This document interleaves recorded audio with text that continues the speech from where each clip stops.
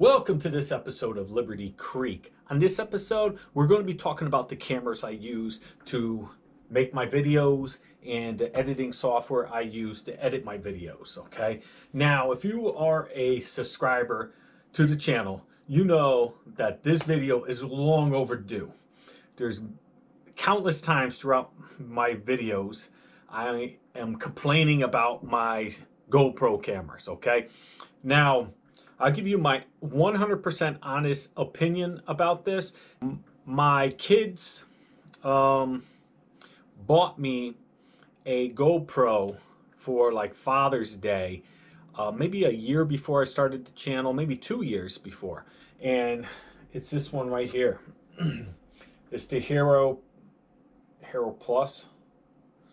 I think this is like the Hero 3 Plus or something. It's an older one. Now this one here, um, you can put a different backing on it and it'll make it waterproof.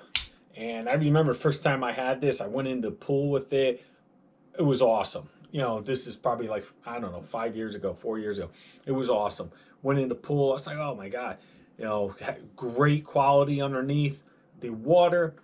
Bad thing about this was there's no um, there's no you don't know what you're pointing at. You don't know what the camera lens is actually seeing because there's no viewfinder or anything. You just point and hope that you're getting everything that you want in the lens okay? So that was a drawback. And when you put the waterproof um, backing on the mic was so muffled you can't hear anything you know? Um, but it was really cool. I liked it. It was heavily advertised at the time as like you know the one that for sports for roughness and you could throw it around people skydive with it. This is what i wanted and i got it and it was great. And then what was bad about this the only thing i consider bad about these old ones are my son borrowed it for something and this kid he breaks everything. And there's a mount. There's like a little mount that you could clip in and you could put it on different things.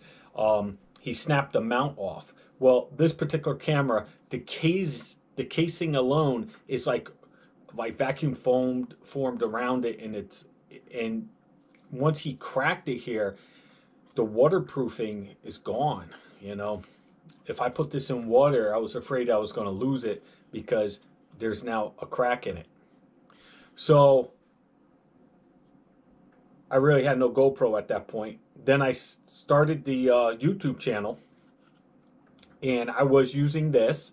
And then my son replaced my camera he broke um, that Christmas. And he gave me the silver, um, the seven silver. And, excuse me he replaced it with the seven silver. I get I got it. I was happy I got it and I started to play with all the new features. And just like the other GoPro, one bad thing about this is the battery's internal. You you know, you run out of batteries, you're done. And usually you could get maybe I don't know, maybe maybe 30 good minutes out of it, you know. Um, and then it, that's it. You have to charge it for however long. I don't know. I never calculated it, but you have to plug it in, and charge it. This has one of the newer chargers. The old one had the old cell phone type style. You plug it in, you let it go. So I thought that was a lot better. Maybe it took a little longer to charge. I don't know why they changed it. But anyway. Um, so now this here, here's the issue. I lost the side door. I don't know what happened to it. So now this isn't waterproof. All right, if, if you see the video jump around, it's just because I go down a rabbit hole about one of these cameras and I decide to scrap it all and I jump back. Okay, now if you're tuned in to learn about the seven, I have the silver. One problem I had about silver is within like maybe four months, five months of having it, um, I was somewhere and I wanted to videotape something.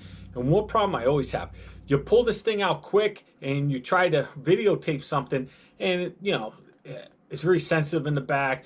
You'll end up recording everything crooked. Um, I don't know why it does that, but you try to bring it out. You're trying to videotape. So I was videotaping something, and I stopped, and I couldn't shut it off. I could not shut this off for anything. Okay, this is like three, four months, and I used it only a handful of times. And I'm sure it cost my son over $300 for this little thing. So I was pretty mad. I couldn't figure out. I want. We were doing something that I wanted to get footage. Couldn't get footage. The thing was locked up solid, and you can't take the battery out. I took the memory card out. I tried hold the button down. I did everything. Um, eventually, it died. The battery died out. Come home, put it on charge. Won't start. Won't start up. Nothing. So for a couple months, I tried all different things. Went online. They suggest you know use the app to do this and that and this and that. I I tried absolutely everything, and then I went and I called tech support. Called tech support. They told me it's not on warranty no more. Blah blah blah blah blah. I told them I was like, you know, I used it like maybe ten times, three hundred something dollars out. I used it ten times. What's the deal? How can I get this thing reset? I, I couldn't do anything. So the guy pretty much, when I called their tech support, I don't know if I was calling a different country, but they don't know about their product. They have no idea about this product. I'm talking to this guy, barely understand him, and I'm telling him what's going on, and he's telling me things that I just explained that I already tried because I was on their forums. And I went through troubleshooting online. I, I think I text the GoPro people too. Um, but again, they make you go, they're reading off cards. Oh, well, you have to do this or I can't help you. Oh, well, go plug it in for two hours. I'm saying that's not going to do nothing. I had it plugged in for like a week. It's not going to do anything, sir. He's just trying to get me off the phone. I'm like, so you're telling me your product, $300 or more, and I got 10 uses out of it, and now it's done. Well, sir, it's out of warranty. You can pay to get it fixed and send it in. He started going on all this stuff. I hung up with him. I messed around with it. I kid you not.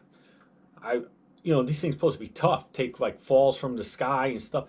I got so pissed off. I took this thing and I spiked it right on my living room floor.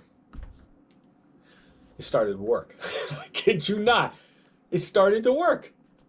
Since that day, it's probably been about a year and a half. Since that day, it's done it to me about two or three times. Every time, I just throw it on the floor, uh, spike it on the floor, and it starts working. Now, I don't recommend you doing that because you know what? You're going to break it in a million pieces and try to blame me or something, want me buy you a new one. If you want to bounce it off the floor, that's up to you. I'm not telling you to do that, but that's how I fix my GoPro because the people at GoPro are clueless, you know. Um, would I recommend this? No, I wouldn't. Because what if I spiked off the floor, still didn't work? I'm out 300 something dollars for something I used 10 times. Their tech support was the absolute worst, okay? Like they didn't know their own product. Now, what I am recording on right now is the GoPro 7 Black. Now, my son got me the silver, and when it was down, I was searching for another uh, camera. And I said, uh, I did all these reviews about the 7. Everyone was saying how much better it is um, than the silver because it has a stabilization control software and blah, blah, blah. And it's everything's so great about this.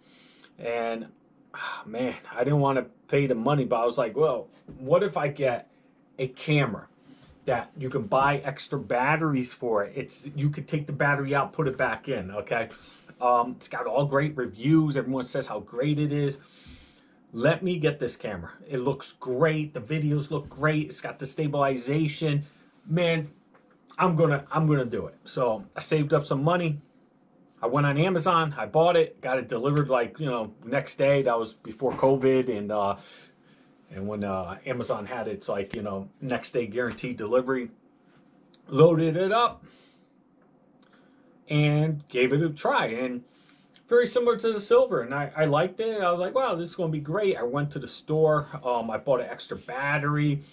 Well, all good things last very short period of time for me because as soon as I went to go make my first video, the thing heats up so hot. I bet you right now it's hot that you know, I don't usually just rant and rave into the camera like I'm doing now. So I will go, I'll do a segment, I'll move it around, I'll hit record, record. I might have like eight videos on it, okay? But as I'm moving around, I'm like, wow, this is really heating up. And it was summertime. Next thing I know, it shut off. I would not turn back on. I put another battery in. Now I'm trying to do footage here. I'm trying to get get some stuff. We're still climbing. All right.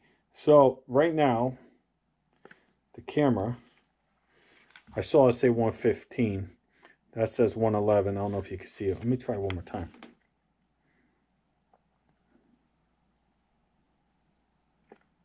One fourteen. I don't know if you can see that. Let me see. The camera right now. Oh my god, lighting's terrible. All right, the camera right now is at 114.2 degrees. All right, to sum it all up in a nutshell, would I recommend people to get in GoPro cameras? It all depends on what you're doing, okay? Just be mindful that they're not reliable and they advertise to people, you know, that do extreme sports, skiing, uh, uh, jumping out of a plane, uh, riding your dirt bikes, um, things like that, you don't get second takes. You're halfway through a jump and the thing stops or locks up, or you know, you're jumping out of the airplane and you missed the whole jump because your GoPro didn't want to record. For what reason? I don't know. Call tech support. They don't know either. They don't know their product. They, they have to read off cards and then tell you to reset. You just told them that you cannot turn on the camera. The camera is dead.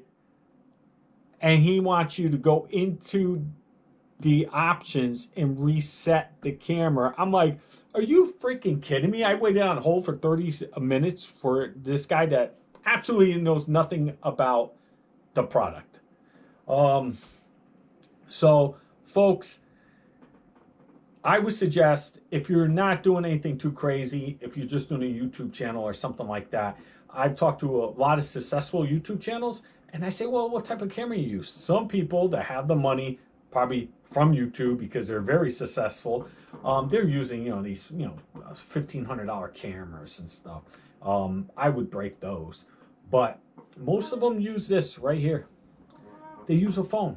Most of them use Apples. Not all of them. I've talked to them that use uh, Androids as well, and that's what they shoot their YouTube videos with.